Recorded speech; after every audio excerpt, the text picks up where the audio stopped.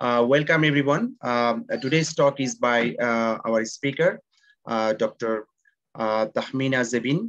Uh, she's from University of East Anglia, UK. So the topic is very, very interesting that explainable AI. She will present with some case studies as well.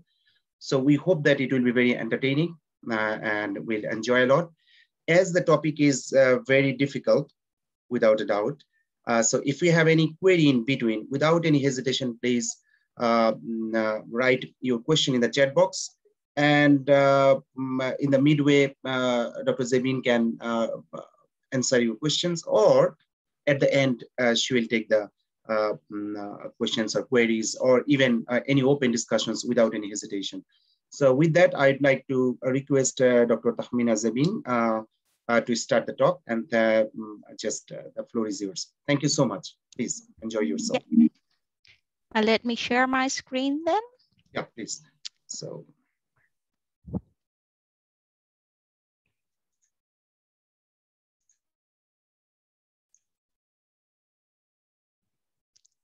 Okay. So can you see my screen? Uh, it's coming. Ah, okay. Okay, yeah, we can see. So you can just make it full, full screen and then. Yeah.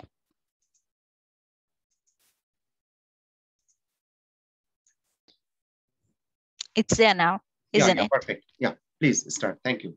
Okay. So guys, thank you very much for joining this session. Today's lecture will be on explainable AI case studies. So nowadays we are using data-driven decision-making systems in many stages of our life. And the machine learning algorithms that we are using to manipulate our data or get information out from our data are mostly black boxes. So the developers probably know how the things are working, but people that are using those automated systems are sometimes struggling on how a specific decision is made. So explainable AI is slightly new topic. Uh, it coined around in 2014-15, where people felt the need to explain whatever the machine learning models are developing in terms of decisions or the predictions that the machine learning models are doing. Explainable AI methodologies are developed to explain or justify what, why a certain decision is made in a certain way. Then we have our algorithms. We can use those, use our knowledge of the algorithms or the predictions to improve the methodologies or improve the algorithms that we are building. And so machine learning is a very popular term nowadays. People say that it is on its hype at this moment, but for the next five or 10 years, it is still going to be a quite hot topic because uh, things are going towards automation and data driven decisions are being made. So I've got a chart on, on my right side of this screen from Boston Consulting Group that suggested the broad use of AI in various aspects of our life. Let's say if we are using computer vision or natural language processing, we are doing quite a good lot of handwritten text to digitize text generation using text processing techniques, then there are machine translation. Let's say you're speaking in Bangla, there are things that is being translated into English. Um, probably many other languages can do the same. There are sentiment analysis, so various text analysis techniques are there. And under machine learning, under machine learning, there are recommender systems. Let's say you're buying something on Amazon or eBay, and it is suggesting you uh, similar products uh, when when we are buying based on our user preference and so on. So wherever you are using systems, there is some form of intelligence nowadays to uh, deploy a, a, specific set of machine learning techniques and so on. So we are expecting the use of machine learning and AI to flourish up until next 10 years eh, before it dies down maybe by something else like quantum computing or any other advanced methodological techniques. So today's session will cover a bit on explainable AI. I would like to talk about why it is important nowadays, So with explainable AI, we are trying to make the models more interpretable, but there is uh, accuracy versus interpretability trade-offs. I will talk a bit about that. There are tools available for model interpretability. So out of the many tools that are available nowadays, I will talk about one of these specific toolbox called SHAP. Uh, SHAP is developed by Microsoft for uh, uh, we, using a game theoric approach of shapely additive explanations. So I will talk a bit about what shapely additive explanations do. Then I planned two or three demo. So I will take you through the code, how we are doing specific things for two or three case studies, depending on how time allows me. So I will try to explain a regression model. Then I will be explaining an image processing model. And finally, I will try to show you one on text analysis model as well. So there is a genomic example I have kept, but it depends on whether you'd like to see it or not. So as you guys heard that I'm from University of East Anglia, it's from location wise, it's at the northeast of very east of England. And it is one hour drive from Cambridge, about two hour drive from uh, London, and it, it is beautiful countryside. And as you can see from the campus view, it has a lake running by the side of the campus, and it, it is situated in a. It, they call it a Norwich Norwich Research Park, and it has various facilities to do genomic research, biological sciences research, and very popular computing science department is there as well. So let's move to explainable AI. So it refers to the methods and techniques in the application of artificial intelligence. And it, it came into play so that any solution the AI methods are developing can be understood by humans. And it inspects and try to understand the steps the models are taking in making their decisions. So let's say in a machine learning model, you feed your input data it gets processed by, a, by an algorithm. Most of the time, these algorithms are black boxes and you produce an output. Most of the times it is a decision or a prediction based on the input data you have.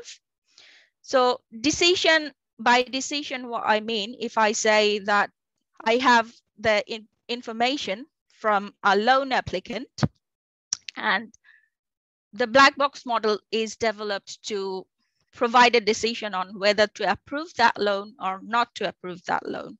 So if the output is a binary decision in this case, let's say yes or no, the algorithm will process the data in a specific way and provide that decision. With explainable AI, what we want is, let's say, uh, the financer decided that a person won't get any loan and the algorithm has to be able to say why the loan was declined. So right now, if I say that why explainable AI is important, there are many points that we can talk about. The first drive for explainable AI is commercial drive. So many enterprises nowadays rely on machine learning models to make important decision. Let's say I was talking about a loan application. So loan or credit card application are mostly being processed by automated systems nowadays. So these companies, because of the regulatory purposes, they are supposed to be as transparent as possible. So if they're using automated system, then they should be able to explain the decisions that they are making using those models. Then there is a popular drive on stock market prediction or people are doing targeted marketing or advertisement based on the customer base that they have information previous information they have on uh, on a specific thing then we are using in sensitive scenarios machine learning models as well let's say we are having an automated image processing pipeline that takes an image and trying to identify cancer or benign cells from the image. So we cannot afford to make mistakes on, in those scenarios. There is a technical drive to it as well. So let's say we are talking about, I have developed a model and it performs with 95% accuracy. So can we trust our model based on accuracy only? So when we are saying 95% accuracy, it is failing 5% of the time. So we need to understand the edge cases or circumstances that is failing the model at some cases. So knowing the why, that why those specific situations failed, you can learn more about the problem and the data. And knowing that failure scenarios, you can have special measures in place so that you can improve the model afterwards. And there are social and ethical aspects. So if your model that you have trained has any form of biases, it may really harm vulnerable group of people. So let's say somebody in need applied for a loan and the algorithm declined it. So the person was really in need of that loan and it was declined. So we are probably harming a people if the application was not assessed correctly. So we need to be sure that what algorithm we are making and deploying in various practical scenarios are maintaining fairness. So automatic appro approval and rejection of loan applications is one of those cases. And there is a trust issue involved. So you will find people still not that comfortable in terms of, okay, I got my decision through an automated system. So it is easier for humans to trust a business that explains its, its decision. And there are some legal regulations as well that the customer has the right to get an explanation. So if a person is declined of his loan, he has the right to ask why, why I was declined. And when they say that we want to explain the decisions that our models are making, there is a dilemma coming up. So to be more accurate in terms of modeling, what we need is to, we need to combine various checkpoints and we need to build a complex model. As we make the model more complex, you will see that the models are not interpretable. And so the complex the model is, the more accurate the models are. And with complexity, we lose the power of interpretability from the model. So you need to choose one from accuracy and interpretability. And from the list of popular algorithms, I hope people in the audience know some of these algorithms. So there are linear models that are very easy to explain because you have X as your input and Y as your output. And output is most of the time proportional to the input. So those models are slightly easier to explain. Then in terms of accuracy, as you go up until ensemble models that probably combine some of these simpler models to give better output, you, you see that the accuracy of the models are increasing. If something is something here is low accuracy and you're going high on the accuracy direction, uh, you will see that the interpretability is reducing as you're being more accurate. Neural networks are the current state of the art to solve many of the problems, and these models are uh, lacking quite in terms of interpretation in many cases. So the takeaway point from here is we want to be more accurate, but we want to have some form of interpretability to be transparent to the decision makers or the, regu the regulatory bodies. So the point the explainable AI toolbox developers took is let's try explaining the more complex models because those are accurate. Complex models are though inherently complex. What do we mean by complexity in here? Let's say I've got input value and the complex model tried various permutation and combinations before it generated its output value. But whenever I'm processing a certain input, you will see that there is only one decision-making path it is taking at the end of the tunnel. So a single prediction involves only a small piece of complexity of the entire model. So you can try to explain it in a specific way. There are, as I say, there are various toolboxes available. Uh, this corresponding link has multiple of them. And I would like to talk, talk about one of them today, so which is a classic Shapley value estimation or SHAP library. So there is local interpretable machine learning interface LIME. Then there is DeepLift to explain deep learning algorithms and so on. There is XEMP uh, that, that is quite popular. But my reason for choosing SHAP is SHAP has included LIME and DeepLift within itself. So one library can be used to explain various set of models that we, we are going to see. So background for Shapley values and SHAP. Uh, the library is developed by Microsoft, as I said, and it is an open source library. It is implemented to explain machine learning models using the help of Shapley values. The key contribution of this library is it can explain any tree ensemble models using an API called TreeShap. There are deep learning algorithm explanation that you can try to do using an API called DeepShap. And if you do not know what form of algorithm your model is using, so they have a tool set for model agnostic explanation. And the API for that is KernelShap. So this library works with linear algorithms, tree algorithms, deep learning algorithms, and multi-stage combination of any of these. So let's say you have, you have trained a model using a specific amount of data, using a specific set of algorithm.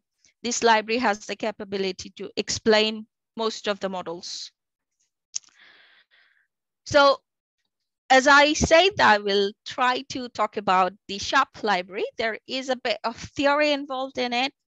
I hope I don't bore you too much, but Shapley values are coming from game theoric approach of modeling.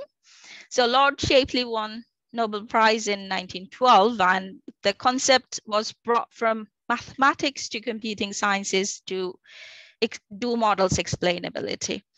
So he was developing shapely values to make fairness, to ensure fairness in game games. Let's say you, you have multiplayer games and you want to treat each of the participant fairly.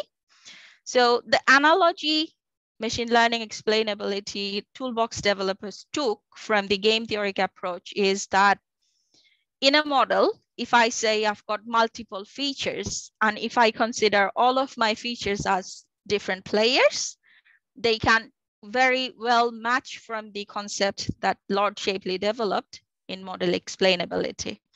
So the game is reproducing in terms of a predictive model, the game concept that Lloyd Shapley had is ha have an analogous effect of outcome of the model and the players that we are mentioning are the features that are included in the model during its training stage. So Shapely values are based on the idea that outcome of each possible combination of players should be considered to determine the importance of a single player. So in case of Shapely value properties, what it says, let's say I've got multiple features and what I'm trying to do is trying to find out an outcome from a model. And my features in this case, let's say feature one, feature two, feature three, feature four. So the Shapley library suggests that if for a data set, I've got an estimated value of the outcome, so it's an average value. Let's say I've got 500 houses in a database and what I'm trying to predict is the price of a house. So the average price of those 500 houses, let's say it's 22,000 pounds. And I want to estimate a new house's price based on its previous experience or the similar set of houses price using some features, let's say room number, or say uh, it, it, it, has a very good school nearby and so on. So there are various features of the property and I want to tell the actual price of the house based on the average value of the houses in that corresponding locality.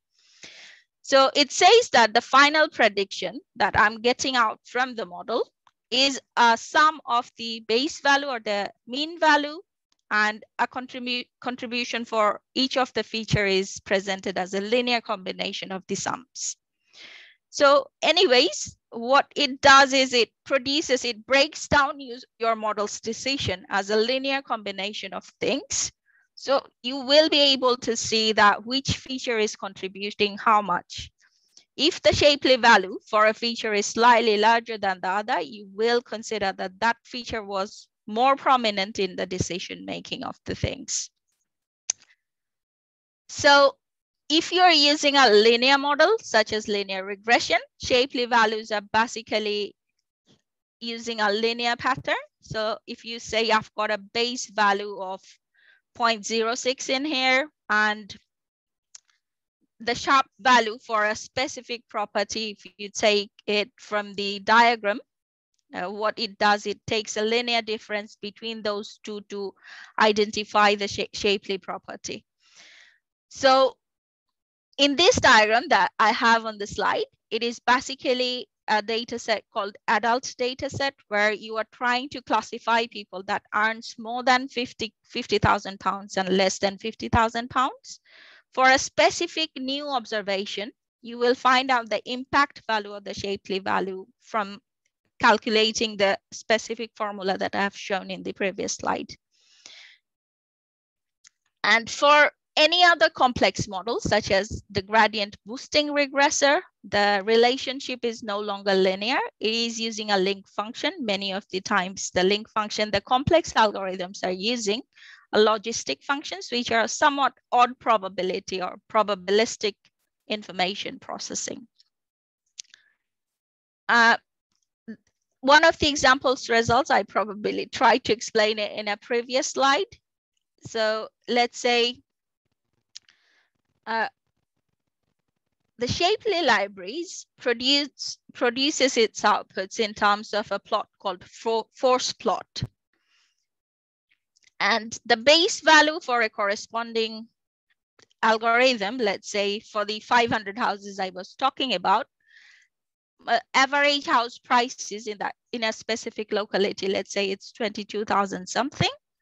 And for a new house that is getting into the model, let's say that corresponding property has six rooms, it has lower status of population of seven point some three something, it has an industrial area, has an industrial area between 2.1 kilometer of the radius. And the nitrate, nitride oxide quality of that corresponding house is lower in terms of the base value of the database. It suggested that the property of this new house would be 27.32, which is higher than the average house price of that locality. And the library tried to produce smaller blocks for each of the variables that how much this proper this variable or how much this feature contributed in the increase of the increase increment of that corresponding property. So I'll do a demo so that this will probably make a little bit more sense. So what the library is trying to do is it is giving an importance value to all of the features that we are using in the training of the model. So the first example that I would like to share with you today is explaining a regression model. And the data set that I'm going to use for this is a simple house pricing model.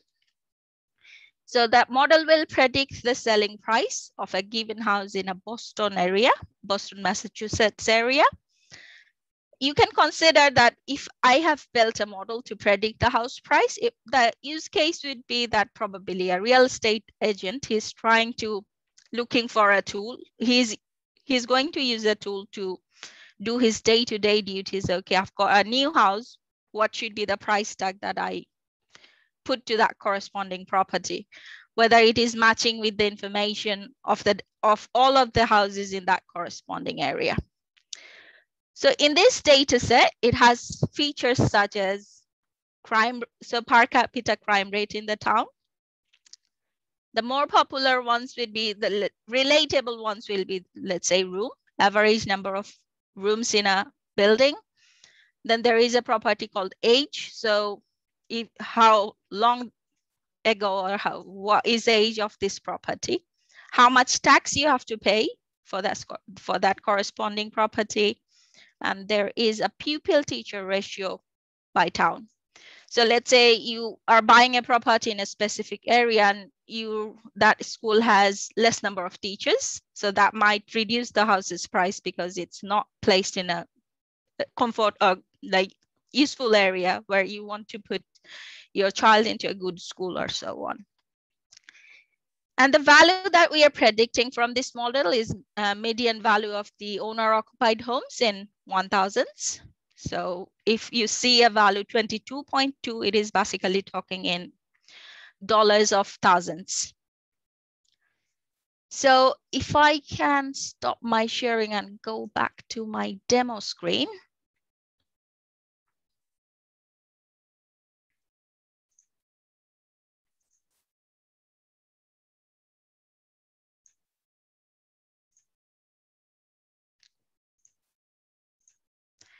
Okay, can you see my screen here?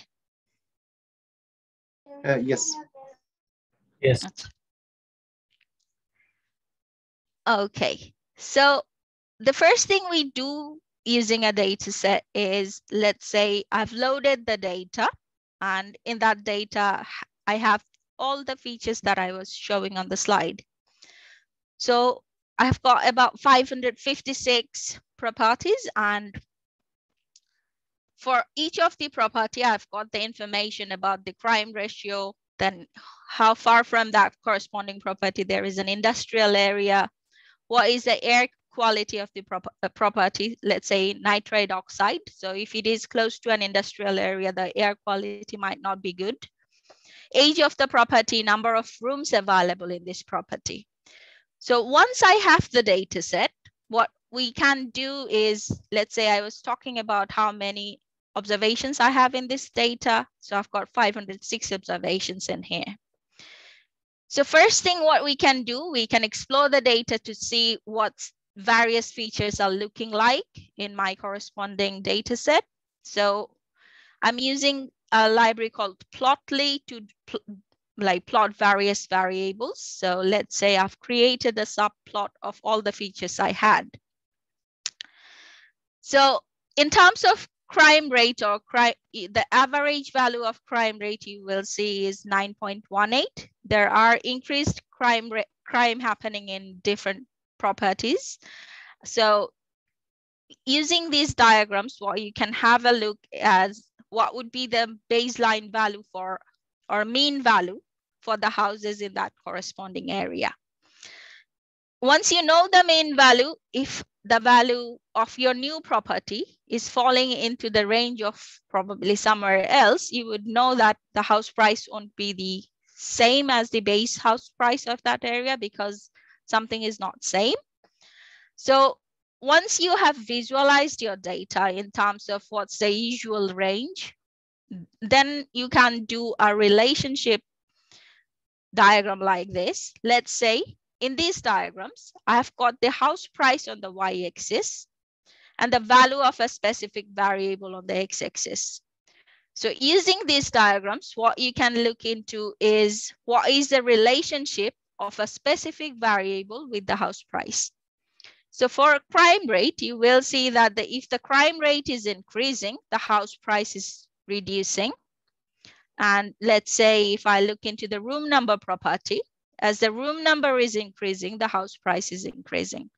So as a human, it is easily understandable to us that it makes sense. The more the room number, the property will be more valuable. And if there is more crime happening, I probably won't like to buy a property in that region. So the house price will automatically go down.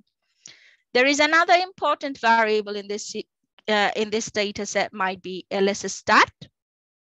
So the lower status of population around that property, you will see that the lower status of population, the value, the higher you have more people with lower status. So as the lower status of population reduces or increases the relationship, if you have more lower status population, the house price will be lower in terms of value.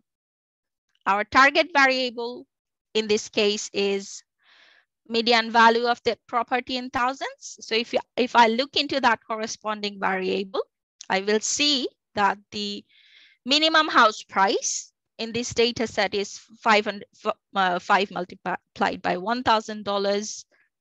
The median value is 21.2 thousand pounds and I'm telling pounds, it's in dollars. And the maximum value of the property or the highest price of the house in this data set is 50,000 pounds. So from the initial data exploration, we can see some information or we can visualize some of the informations that are already available from the data set before doing any form of modeling. So let's say I've got the data, I've looked into the data, I have seen some of the things I want to see that the model has picked as well. So with my help of human eye, I've looked into it and I want the model to find out the same things from the data because it is dealing with the data.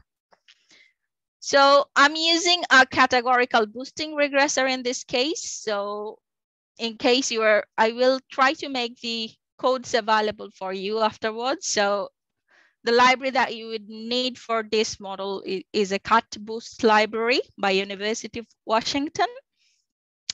So what I'm doing using the data right at this moment is I'm splitting the data into 70% and 30% splits. So I will use 70% of the information to train a model and test it using further 30% of it, of the data.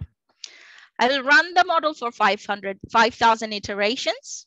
And the loss function that I will be using is root mean square error. So every for every house in the data set, there is an exact price and the model will predict the price. If there is a difference between them, the model has some error.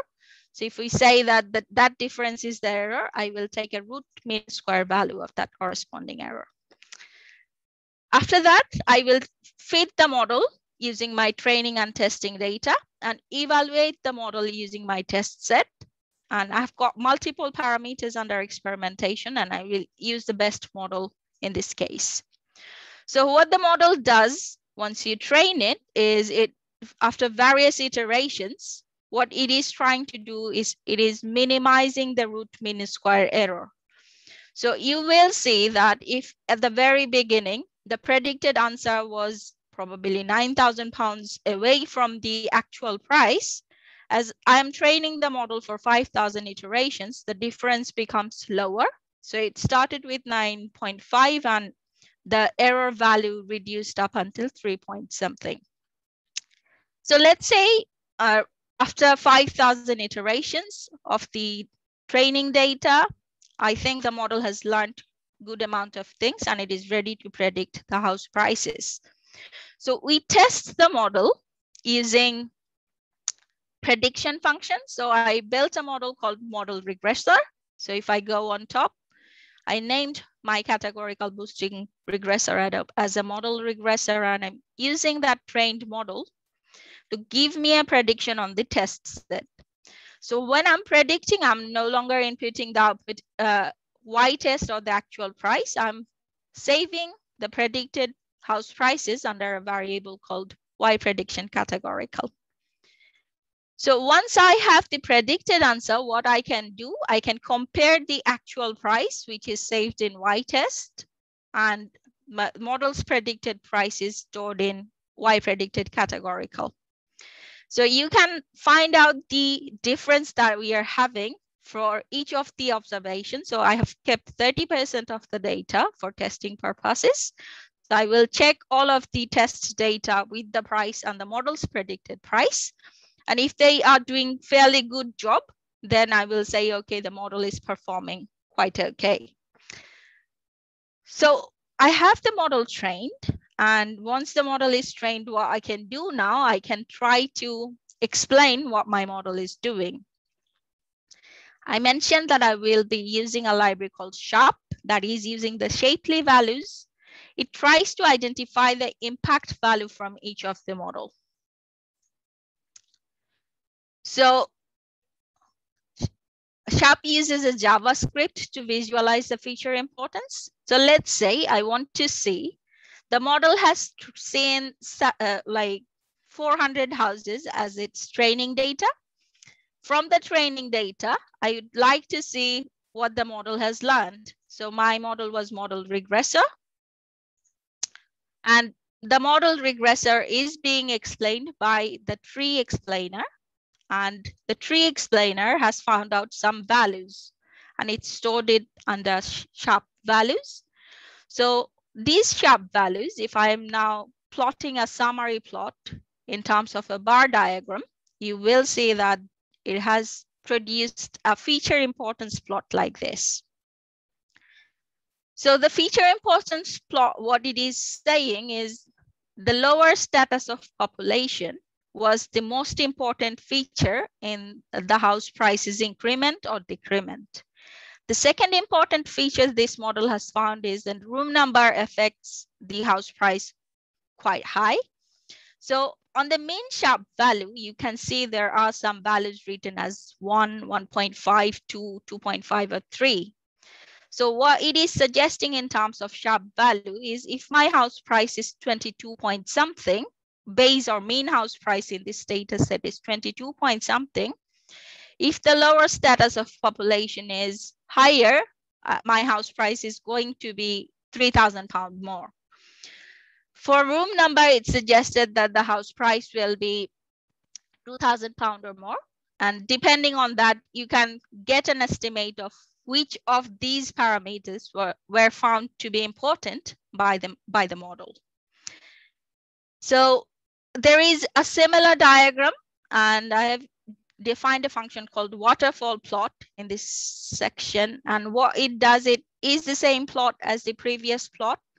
But in this diagram, rather than the SHAP values on the x-axis, I've put a composition ratio on the x-axis. So what it is suggesting in this case is, let's say lower status of population has a composition ratio of 40, 40, what it means, out of the 4,000 properties it has seen, 40% of the houses satisfy the criteria that if LSS stat is increasing, house price is increasing. So for room number, it is giving a composition ratio of, let's say, 23% or something. So for 23% of the houses, the room number, higher the room number, the house price is increasing. So it is try to give you more insight into what in the training data and what percentage of the training data is helping you make that corresponding decision. You can do some scatter plot like this. So this plot that the library is using in this case is called summary plot. And it is somewhat similar to the bar diagram that we were showing in the previous waterfall plot.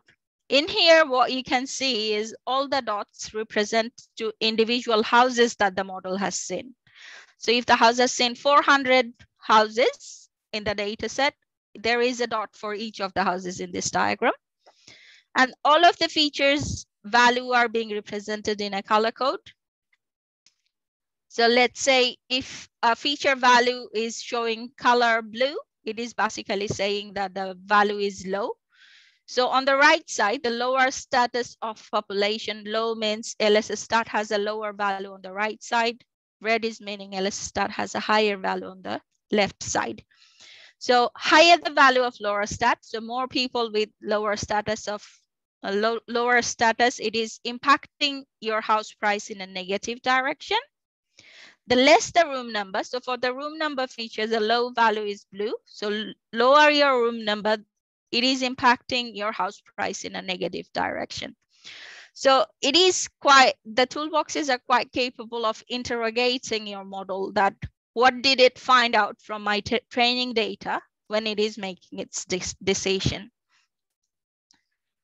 And there is another plot that is quite useful is called the dependence plot.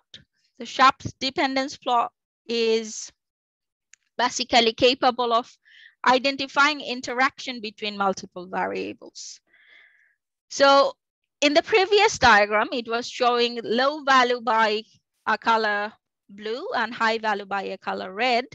In here, you can look into the values of that corresponding LSS stat. So what that corresponding blue in the previous diagram, you did not know what value of LSS stat was blue or what value of LSS stat was red. So in dependence plot, you can look into the value of LSS stat to identify the types of values we are having in terms of positive impact or negative impact. So let's say uh, in this diagram, the SHAP values are on y-axis. In the summary plot, the SHAP values are on the x-axis. So you will see that a specific value threshold, let's say LS stat greater, greater than 10, is mostly having negative impact on the house price. So they're saying in this diagram, the model identified, let's say this value is basically my threshold for house price increment or acceptable range of LS stat or less than that. Then there is some outliers as well. Let's say in these regions, the house price house prices are higher. And for these values, I've got LS stat value of like less than five or so on. So as, as a property value investigator, what you can do in that case, you can take your predictions from the model and investigate whether the model has dealt with the variables in the way a normal human being would uh, deal with those variables and so on. Uh, there is another diagram that uh, SHAP is capable of producing is called the force plot. So in the force plot, what you can do, you can accommodate all your test data to see that like what's the average house price and what are independent properties house price house price is. Let's say I've got about 100 houses in my test set and now I'm taking a house. Let's say I'm taking this house, which is the 32nd house in my test data set. So in this house, I've got a LSS stat value of 2.88 room number 8.034. And based on those, I've got, I've got, I've got a house price predicted by the model as 44.11. So this house has an, a higher house price than the average house price in this data set. So you can identify the houses that has the probability to be higher in price and so on. So that would be it in terms of the regression model explanation. Any question?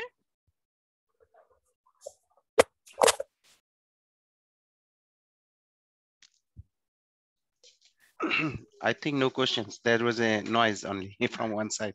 Okay, anyway, you, okay, you can no continue. problem. Yeah, wonderful. So, so, so the SHAP library has quite interesting plots that you can use to investigate your model's performance. The next example that I wanted to show, but I'm probably running over time. Uh, so I would like to finish within 10 minutes. So this will be a short description of explaining a text analysis model. So the model that I'm going to show with SHAP explanation is called ex extremely summarized model. So there is a data set that there is a model that can take a paragraph and produces a one line summary of that corresponding text document using a specific uh, deep learning model to process that corresponding text. So I'm using that extreme summarization data set to show the capacity of the SHAP library to explain uh, what was used it, to produce a summary text from, from that corresponding report. So let's say a model is trained and and for the test data, I have provided a long article to the to the train a model trained model, and the model produced an output like this. So this document was on the rugby team playing for the Wales so they are saying that the players are leaving because we are not paying them enough money. So there was a long document on it and there was some commentary by the chairman of the rugby union. So the model processed this corresponding large amount of text and produced an output text of like this. New Welsh Rugby Union chairman Gareth Davies says that 3.3 million players fund should be used to keep the star players in Wales. You will see that the model has done a pretty good job in even summarizing the amount of money that is being discussed in this document.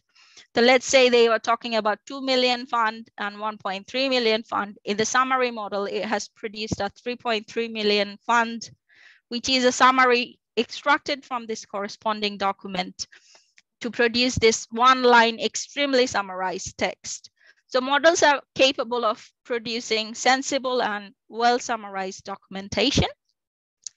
So what we did in here, we have used a SHAP explainer to identify the useful tokens that it has found from this large text.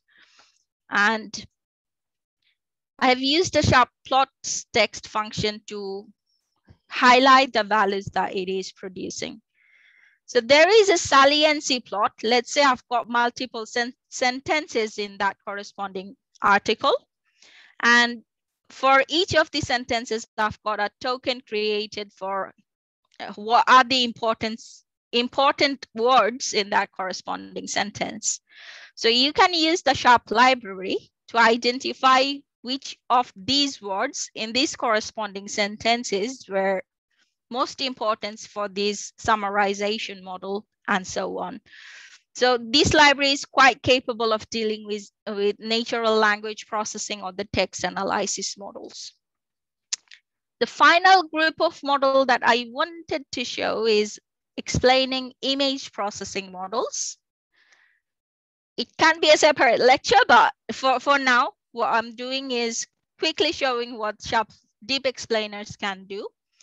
Let's say I've taken a popular data set of handwritten digits of MNIST dataset, I've built a two-layer convolutional neural network using the PyTorch library. And after that two-layer convolutional neural network, I've got uh, two linear layers to classify my corresponding outputs. So if I've got nine different class, zero to nine, I've got 10 different output classes for any input image gets compared into the 10 different outputs and you sort it out through the algorithm or the neural network to tell the final decision, whatever image you have seen, what number it is.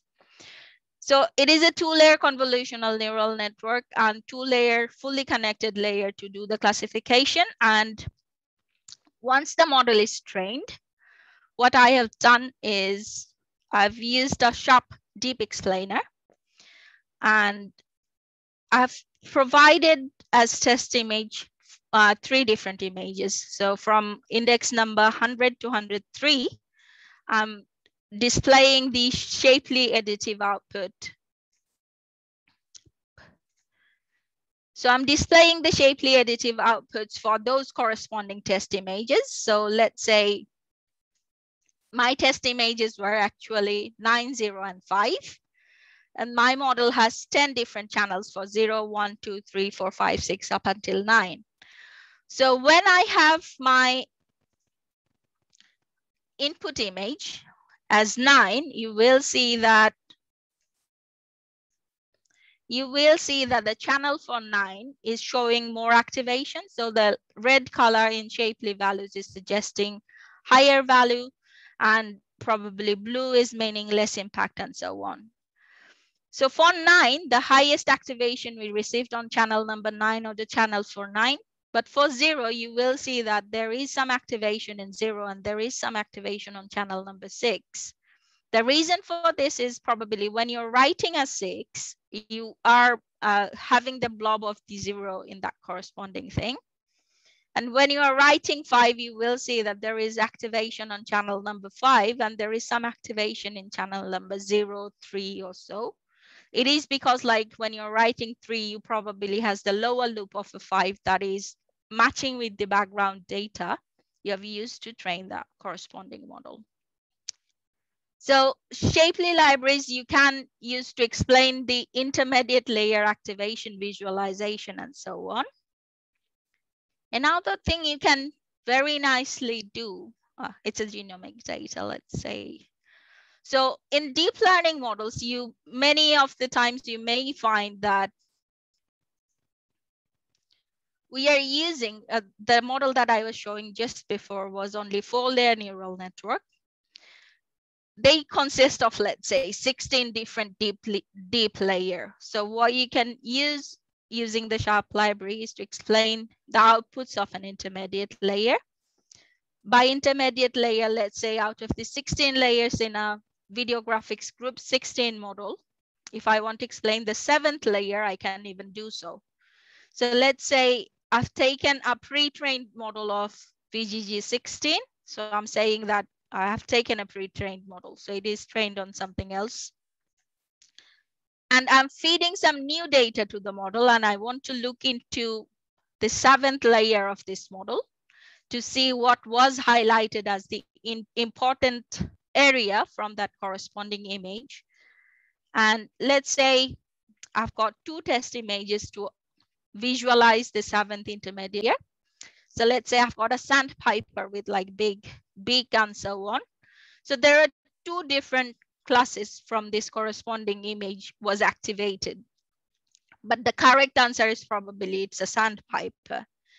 For the second image, it's a meerkat, but it probably looks somewhat similar to a mongoose, but it is a layer that is placed before classification. So what it is trying to do is for all of the channels that are available, available for similarity check, it is doing a highlight of the how similar it is to a dowitcher or it is how similar it looks like in terms of values to a sandpiper. So these tools are very well developed and you can try to use it. Let's say I work in cancer detection with for one of my projects. What we did is what's different in terms of cell type or things that we can do separate out a normal cell from the cancerous cell and so on. Uh, people has used this library to do genomic sequence analysis as, as well. And let's say right now we talk about COVID-19 with like mutation at three different points. So if you have the normal sequence for a corresponding virus, you can check out for from a new patient whether he's getting the second variant or the third variant with separate mutations at different positions. So these are nucleotides. Uh, if you know from your biology knowledge, probably adenosine, guan guanine, thymine, and so on. So wherever the mutation happens, you probably can see from some of the diagrams that the SHAP library is capable of using. I mentioned about the DeepLIFT library in my list of explainable AI toolbox. So these guys are using a visualized sequence from the DeepLIFT library to plot the genes. And what we are using after that, we are using SHAP explainers and deep TensorFlow to visualize the changes or the variations that are being used in there. So I would like to stop now so the library is somewhat capable of dealing with a large variety of data. So depending on your applications or use case, you can use it to make your mod models more explainable. Thank you.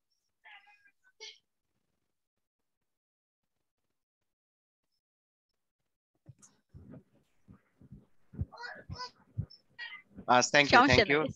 Uh, thank you very much. My kids are fighting, so that's why. okay, uh, so uh, mm, uh, thank you for your nice presentation and uh, with some tutorials as well. though it's too short, considering one hour um, or less than an hour, um, but you have presented it very nicely. So I welcome for questions. Audience, if you have any questions or comments on anything, please kindly raise your voice. We have a hands up from Sriman. Okay, okay, Sriman, unmute. Okay, I unmute. Okay, please. Uh, so I'm Sriman Bidhan from University of Dhaka. A question I would like to uh, ask to the speaker. And the, um, you explained the importance of Shapley value and the relation with the um, models. Uh, I, I, could not understand it properly. Please, can you explain it a little bit, little bit more about the uh, importance of uh, theory of Shapley values and the relation uh, with the visualizations. Okay. So Shapley values are a value impact value assigned to each of the variables. Let's say if you're seeing a Shapley value of three for a, oh, do you want me to share my screen maybe?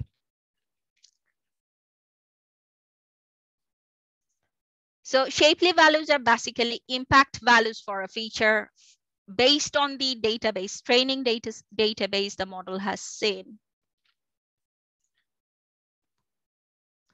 Where did my share screen go?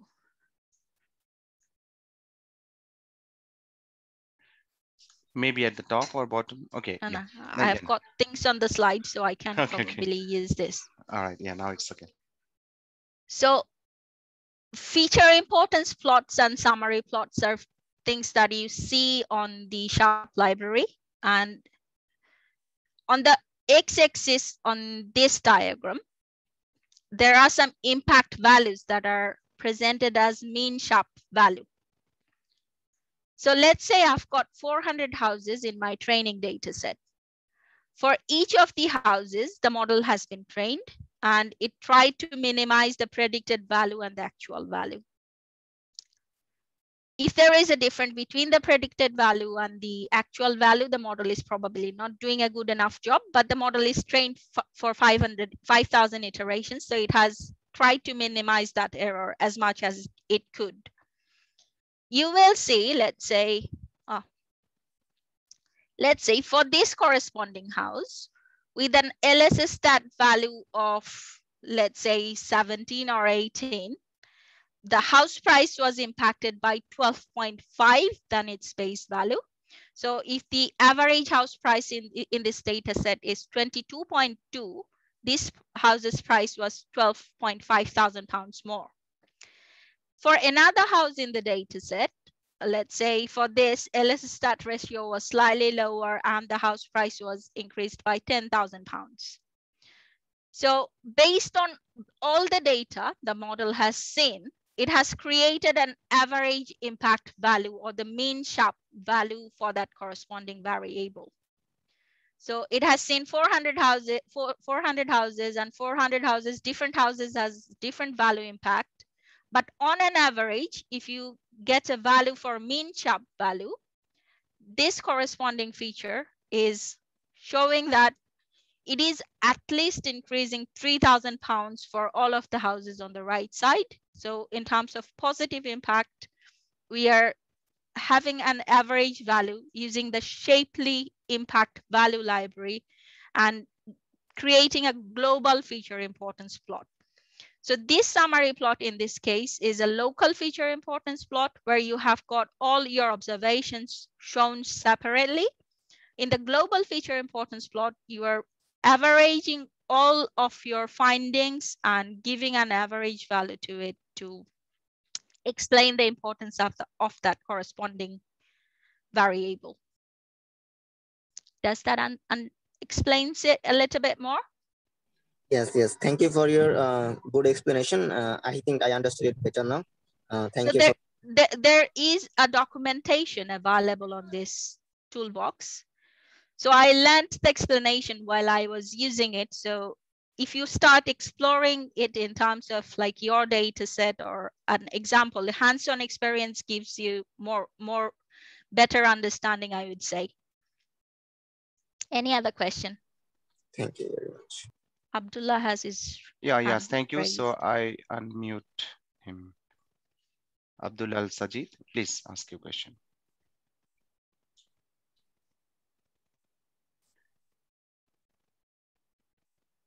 Oh, he he left out. Okay, in at that moment, okay.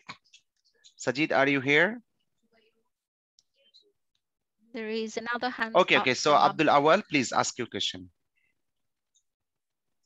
Uh, thank you, madam, for the nice presentation. Uh, I am using SHAP uh, for different purposes, but currently I am facing problems for the multi-class classification problems. Uh, there are lots of bars are coming in the multi-class problems and uh, it's very hard for me to explain the things. Could you please uh, kindly help me something like that. I How can- I can get... I can try. yeah, So yeah, thanks. I guess in my slides, let me go back to the slides again. Uh, but this is multi-class not Uh, I'm problem. talking about Okay. it. Yes. So for, for a multi-class scenario, let's say you've got uh, five different classes. The way various models work is a multi-class, multi-class, quickly. This is a multi-class problem, isn't it? So I've got 10 different classes for 10 different digits. So for the multi-class classification, you will have Shapley values for each of the channels. So if you have, let's say, one of the classes, second class, third class, in that case, you will have impact value for each of the classes separately. And you will see that you have to use an index around the SHAP values in here. Let's say SHAP values one, zero, two, three, depending on your number of classes. So when the Shapley plots are being generated, what it is basically doing is maybe it is whichever channel that you are choosing. So you've got, let's say you've got five different channels.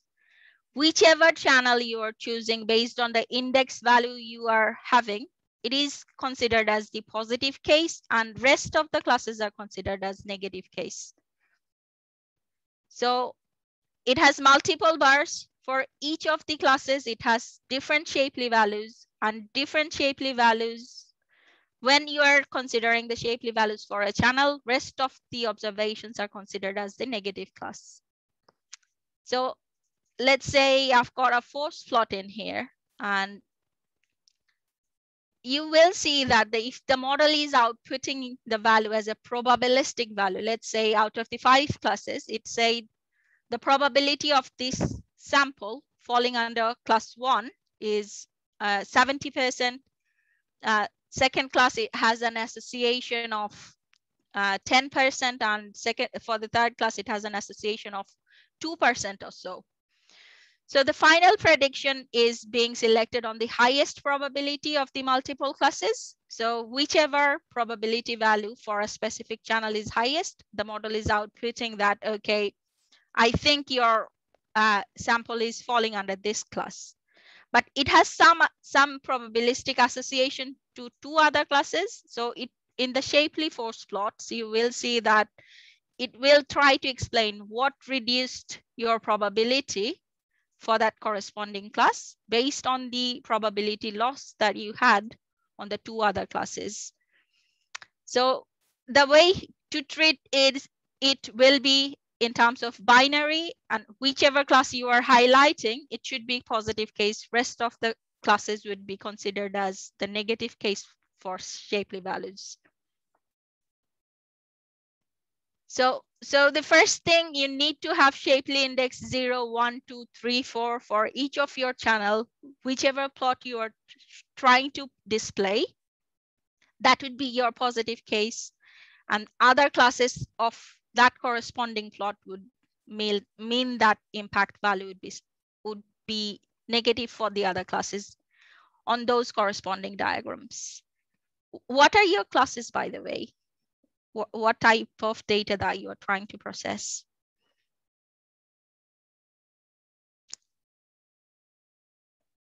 Is he here?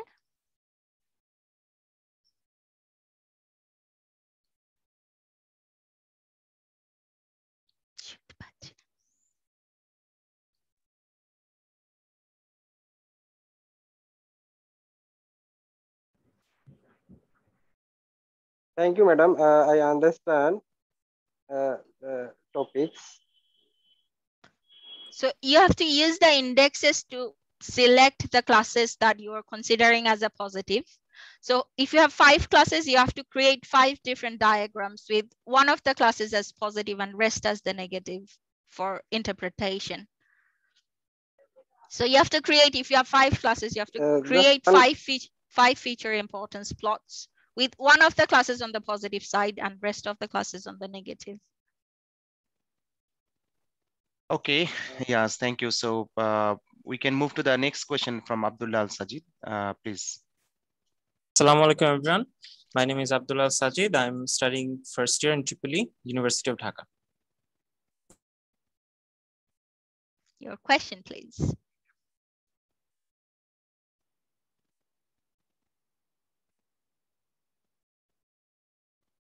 Probably he's out again because it's happening for him. Yeah, he's out. Oh, so sorry. Okay, any other questions from anyone else? Or comments on overall, not praise, but any other points? Yeah.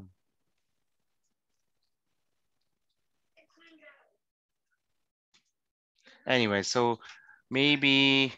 I'm sorry, I got disconnected. okay, uh, okay, please. Yeah. Yeah. Okay, please. Sorry. So thank you for amazing talk. So recently in doing literature review for related research project, I came across a concept in explainability called fair washing. So yeah. uh,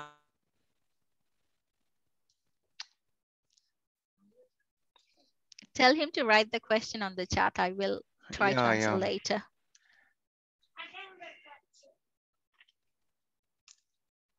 Maybe uh, he's out. So when he will come back, I'll ask him. So if any other questions, please. Uh... Uh, sorry, I'm okay, extremely okay. sorry. I think there okay, if you dis problems. get disconnected, so on that time you just uh, can you can time. you type on the chat, please? Yeah, yeah, yeah sure, next sure. time. Now, now you continue sorry. to talk. Yeah. Okay, so I came across the concept of fair washing. So could you explain it from your perspective?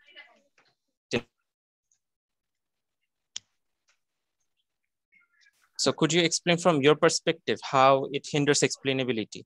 And from my understanding, it can be used to bypass audits and make biased black boxes seem like they are fair. Fair. Uh, so how can they be, how can recent developments in explainability help mitigate that? So, so as you are saying that they are trying to bypass the regulatory boards by, so anything that appears or gets a report in, in, the literature review that they are trying to bypass it, the regulatory bodies have a knowledge of those kind of platforms and any explainable AI library is aware of these cheating ways or like faking the fa fairness options. So I, I guess people are aware of these, these type types of tricks and there are ways to detect any variation that does not look like genuine genuine by various various interfaces. So i think people are aware of the toolboxes that that is capable of like breaching the genuine genuine way of presenting things.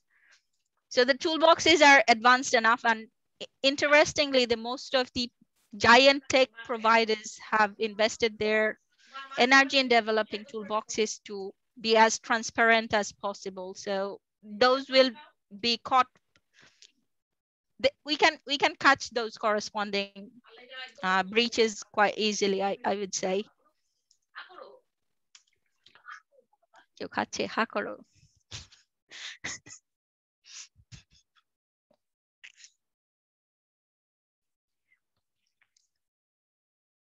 So does uh, that answer your question a bit?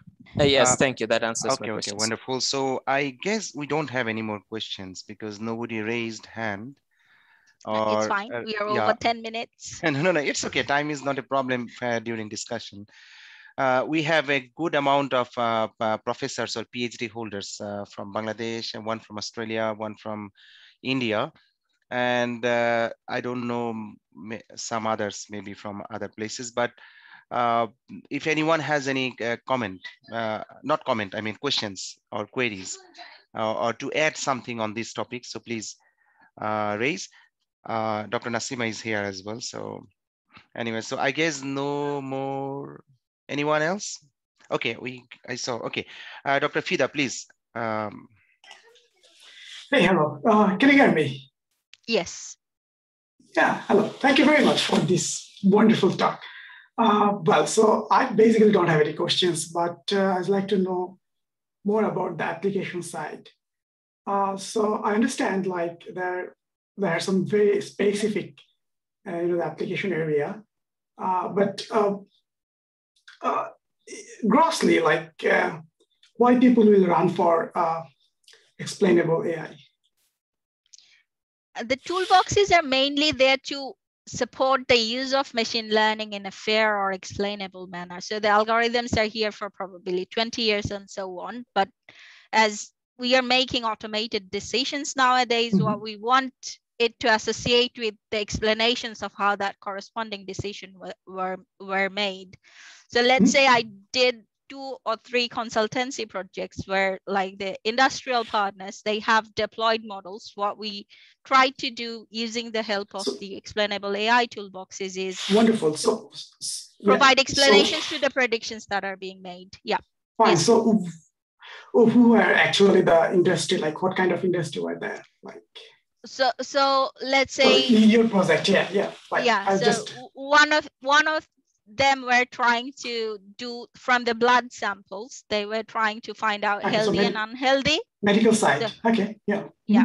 So okay. what they wanted to show that when something is detected as unhealthy, what are the parameters that contributed to that corresponding unhealthy? So whatever okay. feature mm -hmm. were used to train the model, what are the variables that contributed a specific sample to be labeled as unhealthy? So if something did not look right to an expert, they would be mm-hmm. directly able to pick out that this variable does not look right or right yeah. this. Yes. Yeah, I understand. That's a very good talk. And uh, yeah, so that has, I think, good prospect.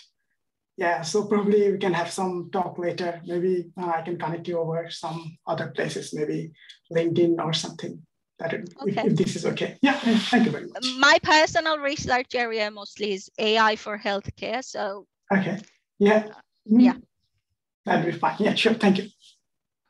All right, I guess we don't have any questions. So uh, one uh, type that is there any uh, very useful material uh, in YouTube to learn because YouTube has or the, the, the web has so many materials. Which one to start with? Um, uh, maybe I, at this I moment very difficult yeah to share right? I i suggest explainable ai does not have very many good talks online as well. So what i learned from is the toolbox developer is called mark sandberg. He has two or three talks available and the library that i am using has a very good documentation with examples for various use cases.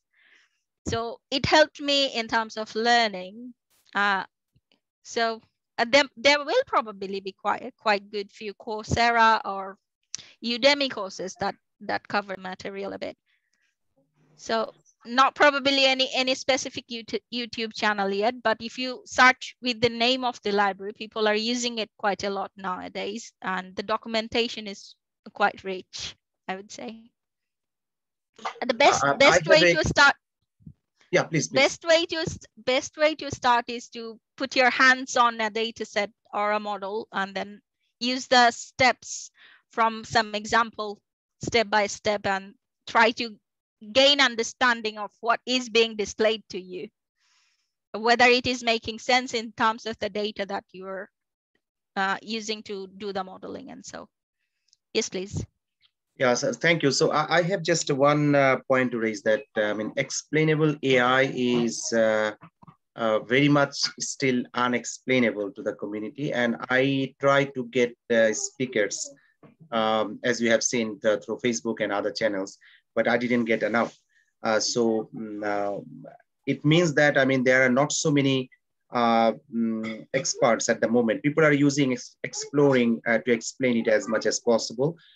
Uh, so my question is that uh, based on your experience that uh, should young researchers go into this uh, domain without having profound uh, mathematics because it requires very rigorous mathematics to understand and to produce some models and implement in some things. Yes, using some tools like this one will be relatively easier, but overall, so would you please just give some comments on that? Thank you so research area wise uh, if you have mathematical understanding, it definitely helps you in understanding the algorithms, the background workings of things. And I recommend people to invest a bit of time in understanding things.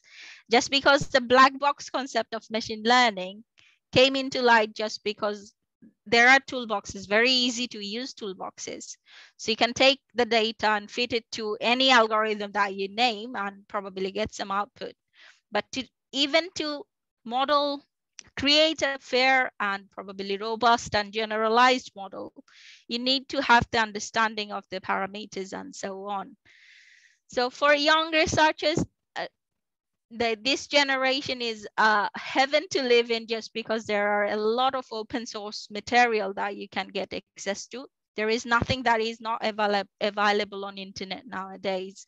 So if you commit to learn things by yourself, things that are not available right at your hand, but if you look for it, there is definitely some good material out there.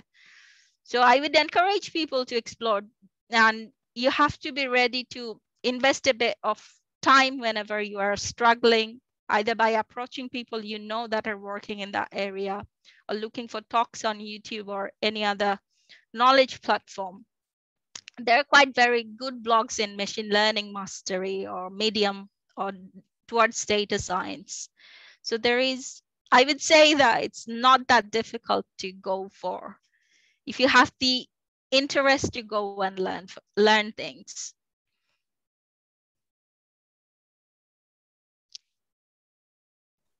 Okay, uh, so uh, there is another question. Uh, if you just look at the Facebook, uh, not, not the Facebook chat box. Uh, this is about, can this library be used uh, for explaining the model of segmentation packs, for example, crack segmentation? If possible, how this concept can be applied? So it's from Al Masroor Khan. Al Masroor. So are you using a library called Mask R-CNN or something? If no, no I'm, I'm just using UNet for segmenting the cracks. So you have encoder and decoder to yeah, yeah. separate out the segment. So yeah, I have encoder and decoder. You, you, you, can use it if you're using a standard library such as TensorFlow or PyTorch. You can. So you yeah. can see the different outputs at different layers of encoder to investigate it. Yes, it is possible. Uh, okay, thank you. Thank you for this. So, so on the on the website for SHAP, if I can put up a link on the chat box, there are image, quite a few image examples that you can look into. And they have like and some examples prepared for inter intermediate layer visualization. So if your UNet has the encoding layers and you have the outputs from the encoding layers, you can add gradient explainer on those layers to get the visualizations of the, those intermediate layers. Ah, okay, I understand. Thank you. All right, I guess uh, we have no further questions. Last one, anyone? No. anyway, so uh, uh, with that, we'd like to wrap it up and uh, special thanks to uh, Tahmina Zebin uh, for her time and uh, preparation for this presentation. I requested her to make it very simple because this is the first time for me to arrange something on explainable AI. Uh, yes, earlier another professor from University of Michigan. Nicola did.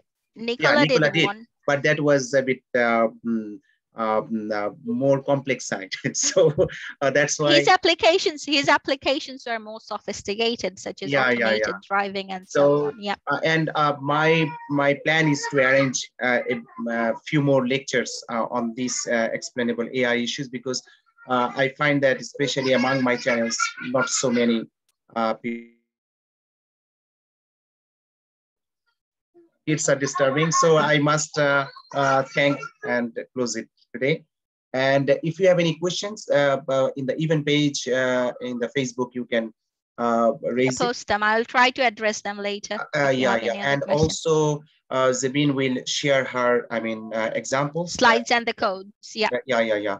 And you will share to me as well. So if someone emails me so that I can forward, or you can email yep. to her directly, just Google and get the information.